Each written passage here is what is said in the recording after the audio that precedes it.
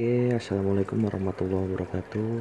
Kembali lagi edisi saat ini kita bagaimana cara memilih lohan SRD Cilnong yang baik.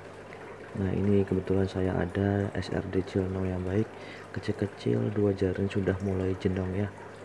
Oke, kita simak video berikut ini.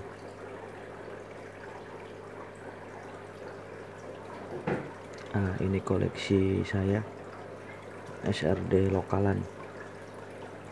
Tapi sudah cukup baik.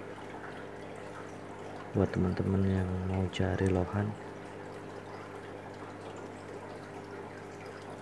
Sudah lumayan. Nah ini dia.